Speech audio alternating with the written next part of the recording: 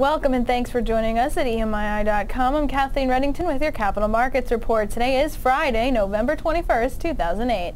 The Wall Street Journal reports that Microsoft has canceled its bid to acquire Yahoo and will not renew efforts to acquire the Internet portal. The software giant was willing to pay nearly $45 billion to buy Yahoo earlier this year, but has moved on. According to Microsoft's CEO, Yahoo had rejected Microsoft's proposal to hand over its search business in exchange for $1 billion plus guaranteed annual payments.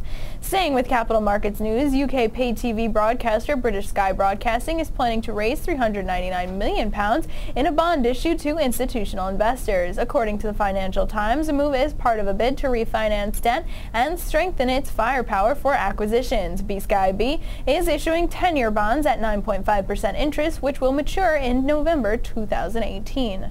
And in more capital markets news, buyout firm Resolution has launched a £1 billion listing. According to Reuters, it marks the first major UK, UK IPO since July that owes to its launch investors interest in founder Clive Cowdery's track record. The vehicle, which will focus on investments in the UK initially, will see a placing of between 500 million and 1 billion pounds in complete in December.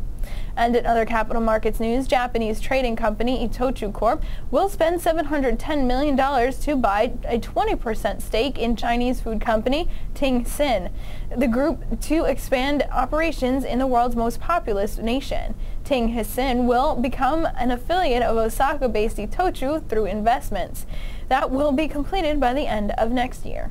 And that rounds out today's Capital Markets Report. Thanks for joining us on EMII.com. For more details on these stories and much more, click onto our Capital Markets channel online, read the full stories and the latest developments.